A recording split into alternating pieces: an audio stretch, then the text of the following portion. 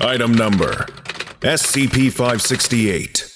Object Class Safe. Special Containment Procedures SCP 568 requires no unique considerations and is stored in Storage Locker 28 002 in Sector 28. Testing with SCP 568 must be authorized by Level 3 personnel. Description SCP 568 has the appearance of a flexible white strap, 70 by 8 by 0.2 centimeters. An unbroken seam on one side runs down its length, precisely along the center. The other side of SCP 568 is smooth and identical in texture to the seamed side. The material SCP 568 is made of is unknown, with some similarities to leather. When the smooth side comes into contact with the seamed side, the two surfaces will adhere firmly to each other, as if glued. The surfaces can be peeled apart with moderate effort, and no damage to SCP-568. When SCP-568 is wrapped around an object, with both ends overlapping at a minimum of 1 centimeter, the object may be split along the seam. To bisect the object, one half must be twisted counterclockwise one half turn, as if loosening a screw. The surface of the cut does not display a cross-section of the object, only an impermeable white surface. To reassemble the object, the cut ends must be in contact and twisted clockwise one half turn. SCP-568 cannot be removed when split in this fashion. Experiment log number 568-1. Tests conducted by Dr. Weiss and J. Candle, dated 2000. Item one steel rod.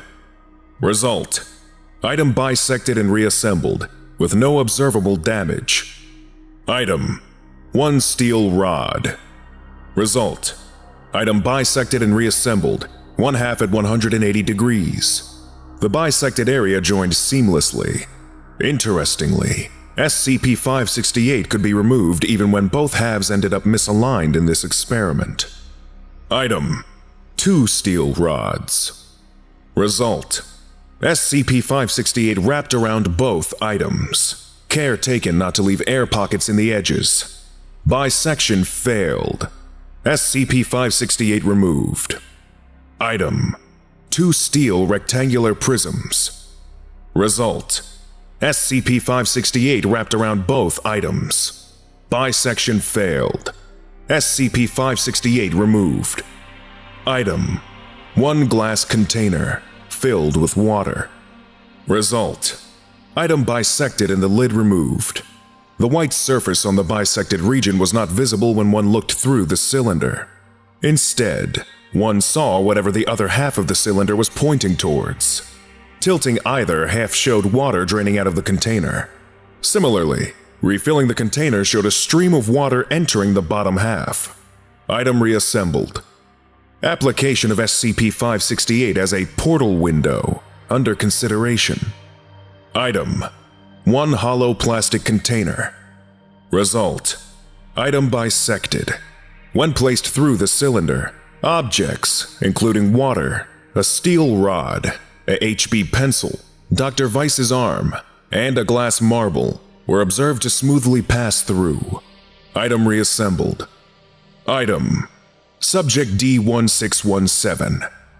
Result SCP 568 wrapped around D1617's lower left arm and bisected.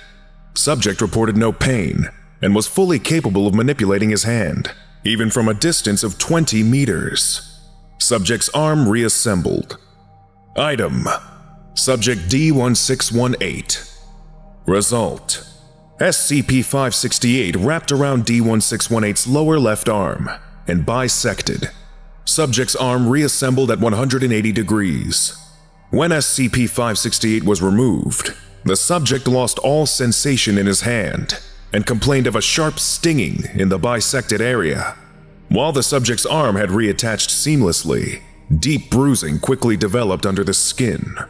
Pain rapidly increased until the subject had to be sedated Close examination of the subject's arm showed the blood vessels and nerve endings no longer met, and it was effectively cut off. from the rest of the body. D1618 terminated. Lesson complete.